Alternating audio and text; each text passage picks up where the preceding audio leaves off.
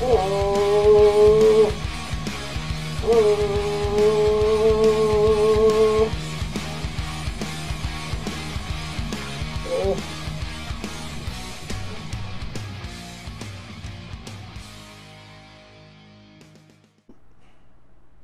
guys, welcome back. Um, to start off another round of projects and doing different bits on electronics and stuff, um, I thought to start with this video today. Uh, first off, I wanted to wish, and I know everyone else will want to wish uh, Raymond, uh, our good friend Raymond Earl, a really fast and speedy recovery, my friend. Um, link there, there up there, I've put it there, there. Yeah, that's really clean editing right there. Um, but today, uh, I did want to uh, wish, uh, wish Raymond well there. Um, and also I wanted to make a quick video because a long time ago, my friend treated me to a music player, which is this thing. And it was great for the time because uh, these were pretty new and I was pretty broke and I was doing lots of walking and stuff. And I played the shit out of this thing so it, its buttons were trashed and stuff because I used it over the years, and I opened it up and I tried to jack it, and I got it. I got this thing working off uh, an 18650 cell, um, connecting up the positives and negatives. And uh, even though an 18650 is 4.2 volt, where this thing was for designed for a AAA battery at something like 1.25 volt, um, it still worked fine and it just showed full bar charge all the time and it didn't burn out or anything but um, I connected this up I was going to use this uh, just the chip and then use some kind of improvised buttons at the top to make a little music system out of these two.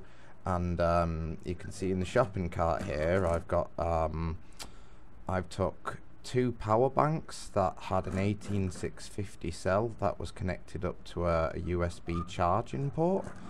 You can see there. And um, I took them out of their um, aluminium shells and then I've uh, put the USB ports on either side at the front of the shopping cart so I can fit the 18650 cells in the cart. And the idea is these two positive and negative wires coming off this cell on this side were gonna connect up with this uh, which they did and uh, they charged this and run this so then the other cell could run this little amplifier here so you know the music player and the amp could work uh, together from the shopping trolley um, but when I connected I, I connected all the wiring up and it worked lovely and then I took that and then put it on here uh, you know where the that goes there and just sat it there. And then when a cable tied it into position something on this board broke on me. Oh staticky. Um, and I think it was that thing whatever that little component is at the top. I think I might have just pulled it too tightly with um, uh, the cable tie and it snapped that component. So unfortunately, rip little uh, board, uh, you did me so well and I respect that. Uh, that was USB and I think it was a 1 gig um, storage it had on it, uh, built-in storage. And unfortunately that died and in place I looked online and found this thing. I'll leave a link below in case you guys are interested. Uh, it's got a little SD card at the top there. Um, it's took a 32 gig micro SD card, this thing, and it works really nicely. Um, I'm amazed.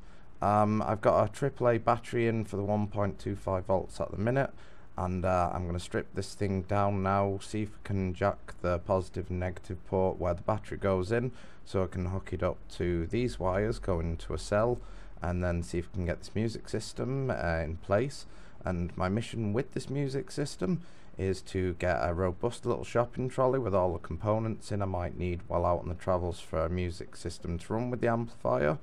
And um, so make it quite robust so if it's being beat around things aren't flying off it and it's not breaking every 10 seconds.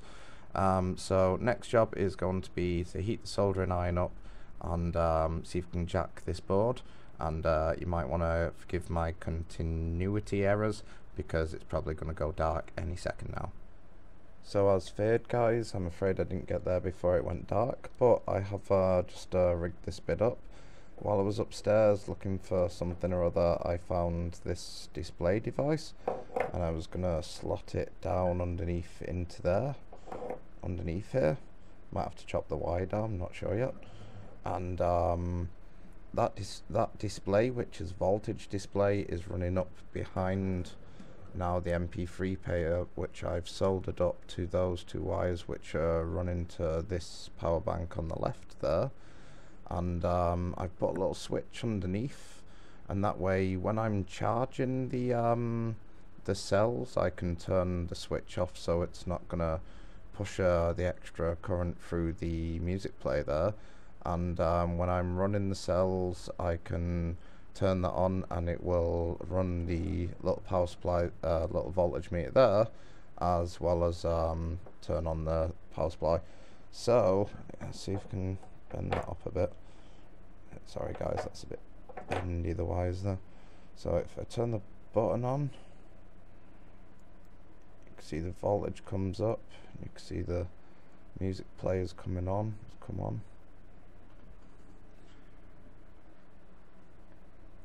3.69 and that way when I'm not using the music player turn them both off and that's also the state of charge. And then when it's charged up and it's not plugged in and it's just doing outputs. Also while these two are on I can then use say the right one which I was you're going to use to power the amp. And you could use the left one to charge a phone or some random USB type device. Um, so I will now take this and see if we can cable tie it all in place and uh, we'll see how it comes out.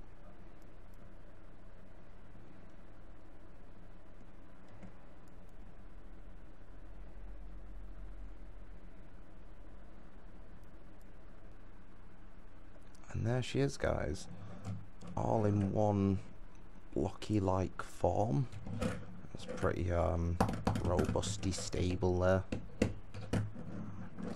Um, I've tied on the music player with some solder that I've entwined around the back here so if I want to take the MP3 player off to use uh, a USB wire onto it and then use this MP3 player as a micro SD card holder to connect to the PC I can do that and um, I instead of adding a lot more cable ties I just added one around here and then uh, hot glued this to the cable tie and that's pretty solid now and I've just done some more hot gluing on the USB ports and uh, I think it's time to test her out and check her to see if she works. So let's just see.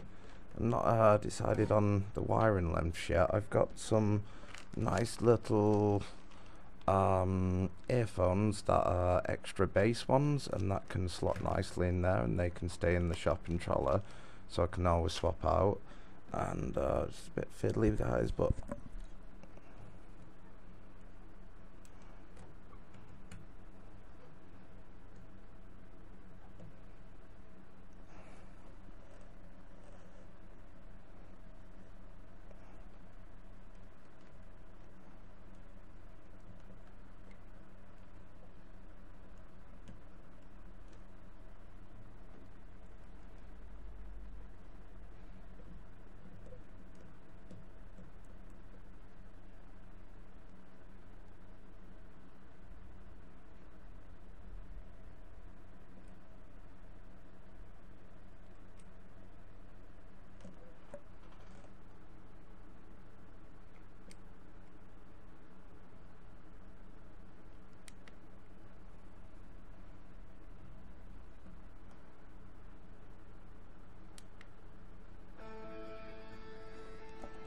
That? And the music player, guys. Using the sound volume on there.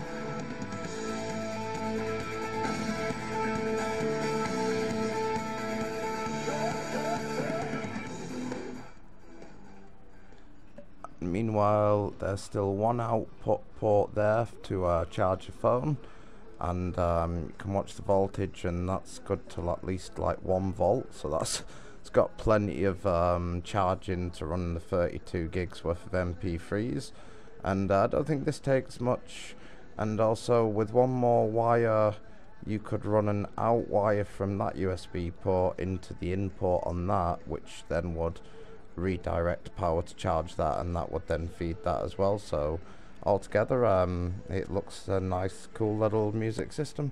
So um, thanks guys for checking in on me and uh, seeing out this cool little build. Uh, thanks Dan, my friend, for um, initially setting me off on this road all them many years ago. And um, here is its evolved scale trolley state after all these years. So uh, thanks again guys, look after yourselves and uh, I'll catch you up soon.